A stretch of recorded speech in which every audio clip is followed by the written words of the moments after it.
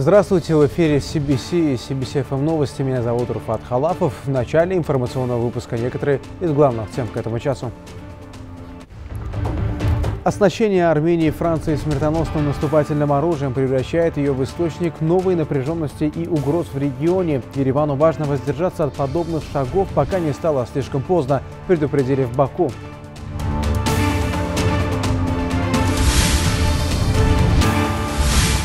Вступление в Грузии в Европейский Союз практически заморожено. На следующей неделе Брюссель начнет работу над ответными мерами для Тбилиси из-за принятого им закона об иноагентах.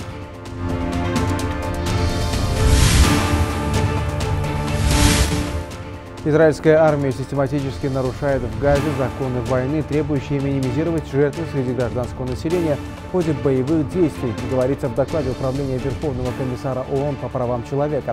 Израиль никак не объяснил самые смертоносные бомбардировки Газы, несмотря на публично данные обещания. В Баку стартовало 29-е заседание высокого уровня на тему «Путь к КОП-29. Стабильное и устойчивое будущее». В мероприятии, организованном Международным центром Низами Гянджеви, принимает участие около 100 иностранных гостей. Президент Ильхам Алиев направил обращение участникам мероприятия, в котором подчеркнуто, что Азербайджан постарается найти разумные решения в борьбе с беспокоящими человечество изменениями климата. Мероприятие продолжится три дня и завершит свою работу в освобожденном городе Зангилан. Борьба с изменением климата уже длительное время находится в ряду наиболее важных и приоритетных вопросов глобальной повестки дня. Климатический кризис и его последствия, являющиеся общей проблемой человечества, препятствуя устойчивому развитию и благосостоянию стран, также существенно влияют на повседневную жизнь и образ жизни простых людей. Об этом говорится в обращении президента Ильхама Алиева к участникам 29-го заседания высокого уровня в Баку на тему «Путь КОП-29. Стабильное и устойчивое будущее», которое зачитал помощник президента Хикмет Гаджиев. В нем отмечается, что Азербайджан в рамках сотрудничества с другими государствами постарается найти разумные решения в борьбе с беспокоящими человечество изменениями климата. На КОП-29, которая будет организована в Баку, пройдут переговоры по согласованию новой коллективной количественной цели по климатическому финансированию на период после 2025 года. Также было добавлено, что у мира становится меньше времени, чтобы мобилизовать усилия для принятия совместных срочных срочных мер и неотложных шагов с целью сохранения глобального потепления на уровне полтора градусов по Цельсию. Команда, связанная с КОП-29, продолжает свою работу на очень профессиональном уровне, занимается формированием повестки дня, а также другими вопросами. Опыт КОП также показывает, что важно тесно сотрудничать с международными группами и академическими кругами. На этой конференции общая глобальная повестка Азербайджана в области изменения климата достигнет важных важных результатов. Подход Азербайджана к КОП-29 обеспечивает инклюзивность, максимальную прозрачность, а также учитывает мнение всех сторон. Мероприятие собрало мировых лидеров с богатым опытом и глобальным взглядом в области изменения климата и устойчивого развития из примерно 20 стран. В нем участвуют министр экологии и природных ресурсов Азербайджана, президент КОП-29 Мухтар Бабаев, председатель 73-й Генеральной Ассамблеи ООН Мария Фернанда Эспиноса. Свое видеообращение участникам направил также генеральный директор Всемирной организации здравоохранения Тедрос Адханом Гебрейесус, где отметил, что принятие климатических мер поможет ежегодно спасти миллионы миллионы жизней. В первый день мероприятия были организованы 8 панелей по таким темам, как обзор статуса вызова, балансирование, сокращение, адаптация и устойчивость, изменение климата и его взаимосвязь с водными ресурсами, биоразнообразием и продовольственной безопасностью. Члены Центра Низами Гянджеви активно работают над поддержкой успеха КОП-29 и вклада Азербайджана в борьбу с последствиями изменения климата. Мы пытаемся собраться вместе, чтобы разработать актуальные темы для обсуждений и сделать так, чтобы КОП-29 имел наилучшие шансы на успех. Нам предстоит решить широкий спектр вопросов, одним из которых будут финансы, продовольствие, сельское хозяйство, вода. Изменение климата и затронутые им сферы, климатическая справедливость тоже будут в нашей повестке. Все эти вопросы мы разрабатываем таким образом, чтобы в итоге смогли сформировать повестку дня и помочь государству приветствовать все страны на КОП-29. Участники Участники мероприятия также поделились своими мыслями и предложениями на панельных дискуссиях о роли науки, технологий и инноваций, обсудили состояние продовольственного и сельскохозяйственного сектора, затронули тему финансирования, здоровья, выбросов в атмосферу. На КОП-29 в Баку есть возможность обсудить то, как, например, сократить разницу в объемах выбросов в атмосферу между глобальным севером и югом. Довольно часто в рамках этой темы спикеры фокусируются лишь на энергетическом секторе, в то время как эмиссии можно значительно сократить за счет агропромышленного и продовольственного сектора. Ведь число малых предприятий в области сельского хозяйства довольно высокое на юге, но у них нет доступа к технологиям и инновациям, которые помогли бы снизить выбросы. Другой аспект – это обмеление водоемов, что тоже является актуальной для Азербайджана проблемой, которая напрямую связана с глобальным потеплением. Внимание на конференции в Баку будет сосредоточено на климатическом финансировании. Лучшим результатом станет создание доверительных отношений и уверенность в том, что страны, которые исторически ответственны за климатические изменения, присоединятся к климатическому финансированию. Это станет наследием Баку, так как климатическое финансирование позволит справиться с изменениями климата. У нас есть необходимые технологии и знания, но у нас недостаточно средств. Для этого богатые страны должны вкладывать средства в бедные развивающиеся страны, чтобы они тоже могли действовать. Если у нас получится сфокусироваться на финансах, то это будет наиважнейшим достижением конференции в Баку. Одно из панельных обсуждений будет организовано в освобожденном городе Зангелан. Мероприятие завершит свою работу 21 июня. Жаля Гусейнова, Фарид Лачинов, CBC. Баку не считает эффективной политику Франции на Южном Кавказе, потому что она не способствует продвижению мирной повестки в регионе. Об этом заявил помощник президента Азербайджана, заведующий отделом по вопросам внешней политики администрации главы государства Икмет Гаджиев, комментируя продажу Парижем Еревану самоходных артиллерийских установок «Цезарь». По словам Гаджиева, в условиях, когда между Азербайджаном и Арменией идет процесс нормализации, проводимая Францией в регионе политика милитаризации представляет серьезную угрозу. Эти шаги Парижа наносят серьезный удар по процессу нормализации, особенно после того, как 19 апреля были достигнуты результаты по делимитации границ. А ранее было сделано совместное заявление на уровне высших органов двух стран и предприняты серьезные шаги в направлении мирной трансформации Южного Кавказа. Это никоим образом не способствует продвижению мирной повестки дня в регионе Южного Кавказа. Реализация Франции политики милитаризации ставит под угрозу мирную повестку региона на фоне процессов, связанных с нормализацией отношений между Арменией и Азербайджаном, процессов делимитации, а также совместного заявления на уровне властей двух стран 7 декабря. Это серьезный удар по процессу нормализации, а также шаг, который послужит поощрению реваншистских сил внутри Армении. Расширение зоны военного сотрудничества между Арменией и Францией вызывает серьезную озабоченность. Утверждая о том, что Армения имеет суверенное право проводить политику массовой милитаризации, надо осознавать причины, по которым эти действия являются незаконными и представляют угрозу для Азербайджана. Об этом говорится в комментарии пресс-секретаря Министерства иностранных дел Азербайджана Айхана Гаджизаде к заявлению Министерства иностранных дел Армении от 19 июня. Гаджизаде напомнил, что было бы лучше прояснить, почему Армения, которая сейчас ссылается на границы и территориальную целостность 1991 года, основанной на Алмате Минской декларации, игнорировала эти документы в течение последних 30 лет, отказывалась признавать границы, основанные на советских картах, и оккупировала территорию Азербайджана. Сегодня Ереван представляет военные позиции, на которых спустя 30 лет дислоцировались азербайджанские солдаты, как территории деревень, принадлежащих Армении, несмотря на отсутствие разграничений и обвиняет Азербайджан в оккупации. Очевидно, что такие страны, как Франция, соревнующиеся в оснащении Армении смертоносным наступательным оружием, ведет ее превращению в источник новой напряженности и угроз. Принимая во внимание тот факт, что эта политика способствует будущей возможной агрессии Армении, важно воздержаться от этих шагов, пока не стало слишком поздно, напомнили в МИД Азербайджана. Париж провоцирует очередной виток вооруженного противостояния на Южном Кавказе, заявила глава, глава пресс-службы МИД России Мария Захарова, комментируя контракт э, на поставку систем «Цезарь» Франции в Армению. Захарова подчеркнула, что руководство Франции руководствуется не интересами Армении, не интересами какого-то конкретного народа, а стремится использовать имеющиеся разногласия, противоречия внутри стран или между странами в качестве инструмента для достижения собственных конъюнктурных целей. Под собственными конъюнктурными целями подразумевается не только личный интерес Елисейского дворца, но и Францию как проводника натовской идеологии. Мне кажется, именно так к этому и стоит относиться, сказала глава пресс-службы МИД России. Потому что все остальное они точно так же с треском провалили. Посмотрите на шагающую по миру культуру отмены – ну а подрывной деятельности Франции мы поговорим с гостем на прямой связи со студией политолог, доцент кафедры массовых коммуникаций РУДН Анар Гасанов. Анар Малям, здравствуйте, добрый вечер. Добрый вечер, здравствуйте. Ну вот в средствах массовых информации сообщается о том, что между Арменией и Францией подписан контракт о купле-продаже самоходных артиллерийских установок «Цезарь». И складывается впечатление, что Франция вообще не интересуется своим внутренним положением, она не занимается внешней политикой, а беспокоится только о чужих, скажем так, делах и занимается подрывной деятельностью на Южном Кавказе. Как бы вы прокомментировали вот э, такие факты?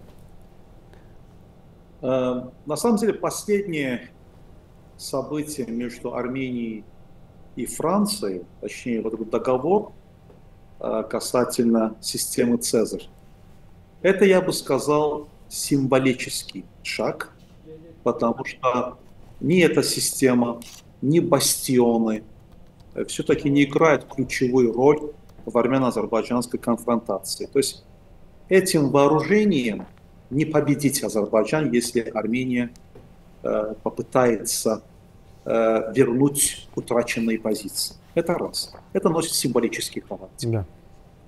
Э, мне кажется, э, то, что вот сейчас активизировалось на нашем, в нашем регионе Франция, здесь цель добиться э, антироссийских настроений, антироссийской политики и ухода России в целом из региона. Французы хотят заменить Россию конкретно в Армении. Почему я так считаю? Потому что в прошлом году э, Макрон совершил э, визит в Казахстан и Узбекистан. С какой целью?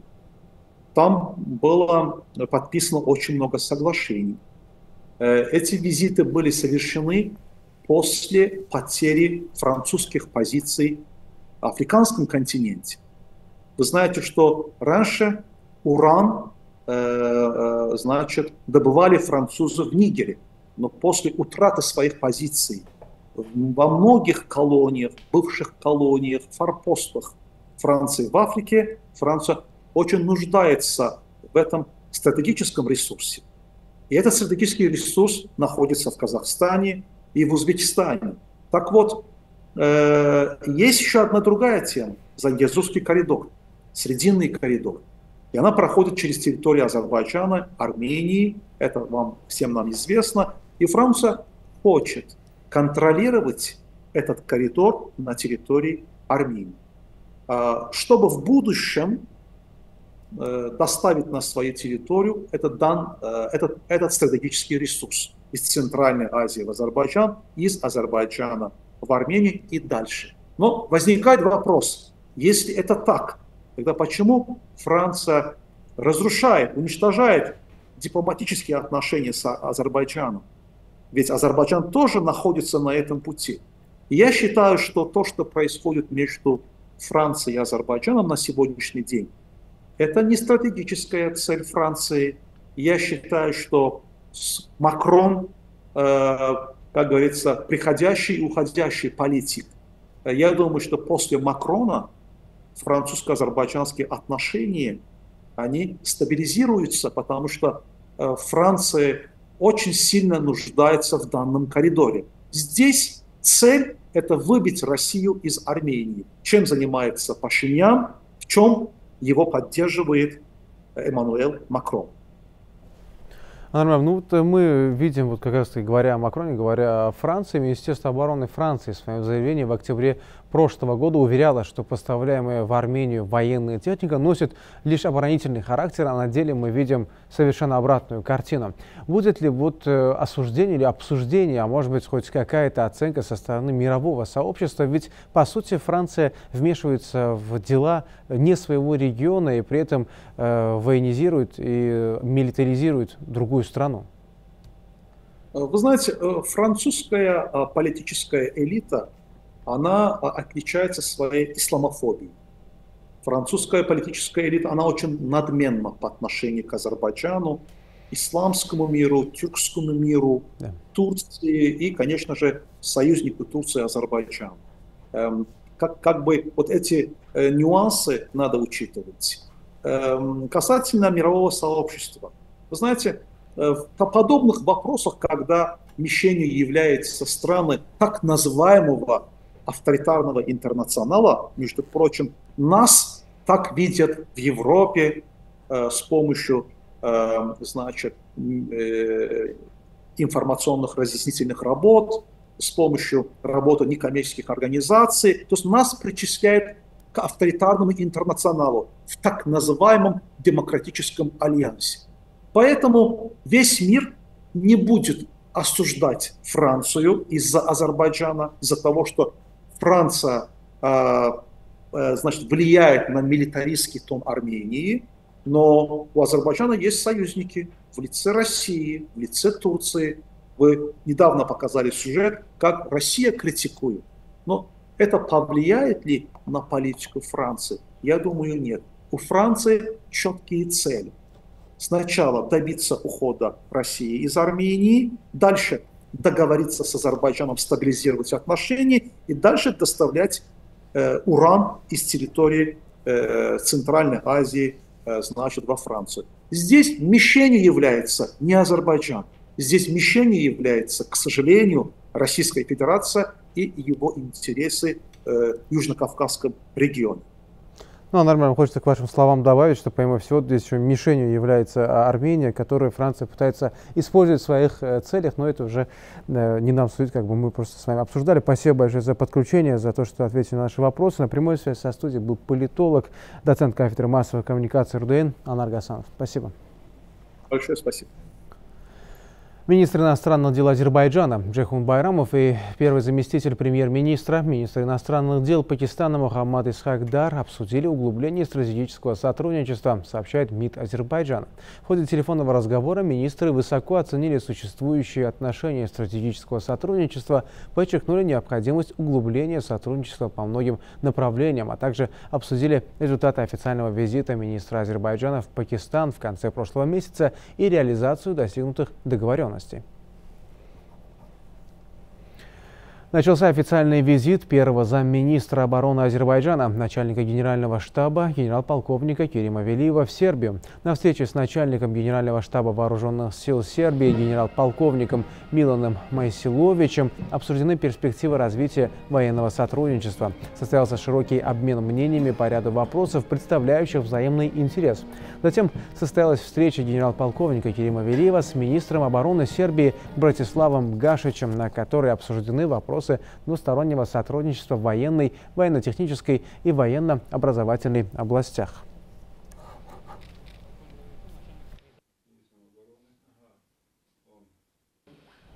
Лидеры стран-членов Евросоюза в ближайшие дни обсудят ситуацию в Грузию, принявшей ненавистный Брюсселем закон об иноагентах. Обсуждения пройдут сначала на уровне министров иностранных дел, а через несколько дней уже президенты и премьер-министры обсудят и решат, какие меры будут предприниматься в отношении Тбилиси. Посол Евросоюза в Грузии Павел Герческий назвал разочаровывающим процесс, из-за которого вступление Грузии в Евросоюз практически заморожено. Дипломат сообщил, что на следующей неделе Евросоюз начнет работу над ответными мерами для Грузии из-за принятого в стране закона об иноагентах. Герческий напомнил, Тбилиси неоднократно предупреждали о том, что принятие закона о прозрачности иностранного влияния негативно отразится на стремлении Грузии стать членом Европейского Союза. И вот соответствующие службы Еврокомиссии и служба внешних действий подготовили подготовили варианты ответных мер и разослали их странам-членам ЕС. Принятие закона об инагентах заморозило интеграцию Грузии в Евросоюз. Вам известно, что интеграция в Евросоюз требует единогласия, а мы уже слышали, что некоторые страны-члены публично заявили, что в случае принятия этого закона они будут против начала переговоров с Грузией о членстве. Я не смогу опередить дискуссию, которая на следующей неделе состоится сначала между министрами иностранных дел, а затем президентами и премьер-министрами. Мы должны дождаться, какие меры выберут страны-члены и как их осуществят. Отношения Тбилиси с Вашингтоном, а также с Евросоюзом разладились на фоне принятия грузинским парламентом закона об иноагентах. Госдеп в ответ на это ввел визовые санкции в отношении десятков граждан Грузии, включая членов правительства, парламента и их родственников, а также правоохранителей. Впрочем, в Тбилиси убеждены, что эти санкции нанесут ущерб в первую очередь самому Западу. Ну, в результате прекращения некоторых проектов Грузия, конечно, потеряет десятки миллионов долларов э, от различных европейских банков, Банка развития, Азиатского банка Европейского банка развития. Э, но те проекты, которые важны для национальных интересов Грузии, э, например, строительство порта Наклея, который осуществляет Китай, или дороги, Э, а не для Запада, они все равно будут выполнены, потому что, во-первых, осуществляются не на европейские деньги и не европейскими компаниями, а те, которые осуществляются европейскими компаниями, в основном важны для Запада. Политолог отметил, что в свете наблюдаемых геополитических изменений Грузия получает значительную поддержку от Азербайджана и Турции. По его мнению, Тбилиси стоит рассмотреть возможность вступления в БРИКС, чтобы усилить свои позиции на международной арене и обеспечить стабильное развитие. Вхождение в этот блок, уверен Хидер Бегишвили, может предоставить Грузии новые экономические и политические возможности, укрепив ее независимость и стабильность. Приостановка безвиза со странами Шенгена с Евросоюзом вызовет определенное недовольство среди граждан, которые ездят туда на заработки и содержат свои семьи в Грузии.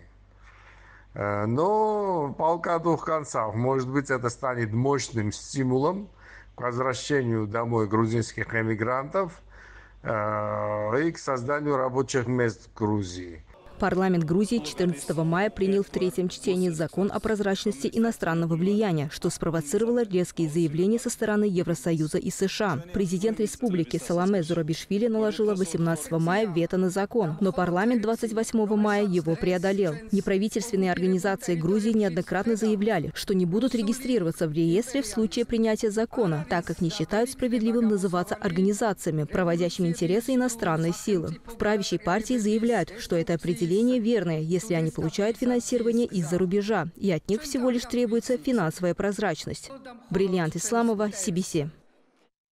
Россия намерена приостановить членство в парламентской ассамблее Организации по безопасности и сотрудничеству в Европе, а также прекратить выплаты данному органу. О подготовке такого решения совместно с Госдумой сообщила председатель Совета Федерации Валентина Матвиенко.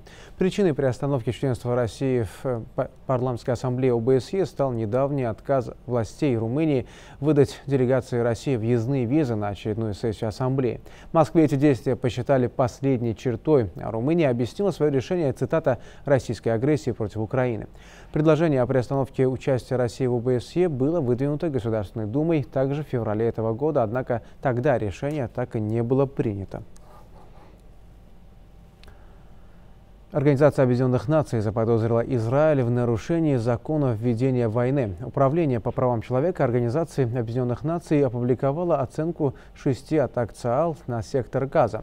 Согласно докладу управления, эти удары привели к большинству, большому числу жертв среди гражданского населения, что нарушает принципы ведения войны. Израиль не смог сделать защиту гражданского населения приоритетом при выборе метода введения войны, что является нарушением требований международного гуманитарного права. Об этом говорится в докладе Управления ООН по правам человека, опубликовавшего оценку шести атак армии обороны Израиля на палестинский анклав в период с октября по декабрь 2023 года. В ходе расследования удалось установить, какие виды оружия, средства и методы использовались при нападениях. В докладе описаны авиаудары с применением американских бомб. Управление ООН сообщило, что в результате шести атак на жилые дома, школу, лагерь беженцев и рынок погибли 218 человек. Ведомство не исключило, что количество жертв может быть намного больше. В докладе делается вывод о том, что армия обороны Израиля, возможно, неоднократно нарушала основополагающие принципы закона войны. Отмечается, что незаконные атаки, совершаемые в рамках широкомасштабного или систематического нападения на гражданское население, также могут быть связаны с совершением преступлений против человечности. По прошествии времени проводить расследование становится намного сложнее, отметили в Управлении ООН по правам человека, выразив сожаление в связи с тем, что Израиль никак не объяснил самые смертоносные бомбардировки, несмотря на публично данные обещания. Это была оценка шести показательных случаев, когда мы смогли оценить виды оружия, которые использовались, а также средства и метод проведения этих нападений. Заявления, сделанные израильскими официальными лицами, вызывают очень серьезные опасения по поводу соблюдения международного гуманитарного права. Мы почувствовали, что важно опубликовать этот отчет сейчас, особенно потому, что после некоторых из этих нападений прошло около восьми месяцев. Постоянное представительство Израиля при ООН охарактеризовало расследование Управления по правам человека как фактически, юридически и методологически ошибочным. В Израиле напомнили, что соблюдают международное право и каждая операция обеспечивается, освещается и рассматривается с юридической точки зрения со всем должным уважением. Эллада Мамедова, CBC. Другим новостям. Билл Гейтс инвестирует миллиарды долларов в ядерную энергетику. Компания американского миллиардера и основателя Microsoft Terra Power реализует проект атомной электростанции. В интервью CBS бизнесмен отметил, что в настоящий момент Китай строит больше, больше всего ядерных реакторов.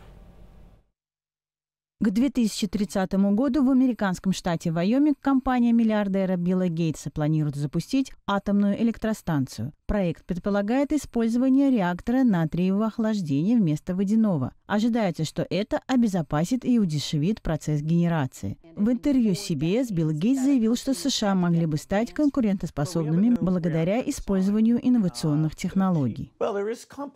Знаете, страна, которая сегодня строит больше всего ядерных реакторов, это Китай. И вы знаете, они серьезно настроены диверсифицировать свои источники энергии и избавиться от выбросов парниковых газов. Просто США имеют тенденцию быть более инновационными, будь то искусственный интеллект или новые лекарства. Если мы высвободим инновационную мощь этой страны, мы будем лидировать. И я очень рад поддержке, которую мы получаем от федерального правительства в этом ядерном пространстве. Взять нашу историю совершенства и решить проблему, заключающуюся в том, что наши нынешние реакторы слишком дороги. Бизнесмен уверен, что проект ядерной энергетики следующего поколения будет продолжаться независимо от баланса сил в Вашингтоне. Изначально старт проекта был намечен на 2028 год. Урановое топливо должны были закупать в России, но из-за войны в Украине поставщика сменили. Проект будет реализован за счет сырья из Великобритании, ЮАР, Канады и США. Двумя крупными спонсорами этого проекта являются инвесторы TerraPower, из которых я самый крупный. Я вложил более миллиарда и вложу еще миллиарды. А затем федеральное правительство, которое помогает из-за стратегических преимуществ энергетической безопасности. Согласно отчету Фонда информационных технологий и инноваций, США на 15 лет отстают от Китая по темпам развития технологий ядерной энергетики. Особенно это касается возможностей по разработке и запуску ядерных реакторов четвертого поколения, говорится в аналитическом докладе. В будущем мы будем стимулировать и развивать новую серию многоцелевых и технологически применимых проектов в области ядерной энергетики, энергично стимулируя комплексное использование ядерной энергии и широкомасштабное применение ядерных технологий в промышленности, сельском хозяйстве, здравоохранении, защите окружающей среды и безопасности. Соединенные Штаты обладают самым большим числом атомных электростанций в мире, но в настоящее время не строится ни одного нового ядерного реактора. В то же время в Китае на данный момент возводится 27 ядерных реакторов, в два с половиной раза больше, чем в любой другой стране мира. Средний срок строительства составляет около 7 лет. Это опережает мировые показатели. Кроме того, КНР успешно внедряет инновации в атомной энергетике, при этом технологически не зависит от Запада. Самира Рзаева, CBC. В Китае увеличивается число компаний, производящих полупроводниковую продукцию. Подавших на банкротство. Проблемы в этой отрасли начались еще в 2020 году, в период пандемии коронавируса. За 2021-2023 годы в стране закрылись более 20 тысяч компаний. Происходящее вызывает обеспокоенность у инвесторов, сообщает издание China Times. Обеспокоенность вызывает еще и тот факт, что с начала текущего года заявки на первичное публичное размещение акций отозвали по меньшей мере 23 полупроводниковые компании. Тем не менее, правительство Китая продолжает финансовую поддержку этого сектора. Недавно фонду, который занимается поддержкой китайской IT-отрасли, было предоставлено около 47,5 миллиардов долларов. Между тем, технологические достижения КНР не останавливаются даже несмотря на ограничения США на экспорт передовых полупроводников в Китай. Намерение США замедлить экономический рост Китая не увенчалось успехом, считают эксперты. На самом деле это потому, что США хотят сохранить глобальную гегемонию. Это основная цель. США делают все возможное, чтобы замедлить экономический рост Китая. Но это не имело большого успеха. Понимаете, цель США — сохранить глобальную гегемонию не имеет ничего общего с коммерческими интересами. Но в какой-то момент, я думаю, они обнаружат. Хорошо, мы попробовали все, и кажется, ничего не работает. Так что давайте сядем и поговорим с китайцами. План Европейского Союза по введению дополнительных пошлин на импорт китайских электромобилей подорвет его собственные глобальные меры по борьбе с изменением климата. Об этом на пресс-конференции в Пекине заявил Ли Чао, пресс-секретарь Национальной комиссии по развитию и реформам, главный специалист по экономическому планированию Китая. Европейская комиссия 12 июня обнародовала предварительное решение о введении временных анти субсидиарных тарифов на электромобили, импортируемые из КНР. Предварительно объявленные пошлины составляют от 17 до 38 процентов в дополнение к уже действующим стандартам 10 процентам пошлинам на автомобили. Пренебрегая фактами и правилами и предвосхищая результаты, расследование фактически вооружается и политизируется, ставя под угрозу честную конкуренцию под предлогом ее защиты. Мы решительно выступаем против этого. Практика полностью доказала, что недальновидный торговый протекционизм – это не выход. Предлагаемые тарифы, если они будут введены, не только нанесут ущерб китайским предприятиям, но и помешают долгосрочному здравому развитию компаний ЕС, что нарушит и исказит глобальную автомобильную промышленность и цепочки поставок, включая раздел внутри Евросоюза, предупредила пресс-секретарь Национальной комиссии по развитию и реформам Китая. Она отметила, что такие меры не только нанесут ущерб интересам потребителей ЕС, но и усугубят зависимость Брюсселя от иностранных ископаемых видов топлива, а также помешают мешают усилиям блока по зеленой и низкоуглеродной трансформации. Китай поддерживает автомобильные компании всех стран в участии в честных соревнованиях и стремится сохранить стабильность мировой автомобильной промышленности и цепочек поставок. Мы надеемся, что ЕС будет думать и действовать благоразумно, уважать основные экономические законы и правила Всемирной торговой организации, прислушиваться к призывам своей собственной промышленности, исправить свою ошибочную практику и как можно скорее вернется на правильный путь открытого сотрудничества и зеленого развития. Это были все актуальные новости на сегодня. Чтобы быть в курсе событий, смотрите CBC и слушайте CBC FM. Эм. До скорых встреч.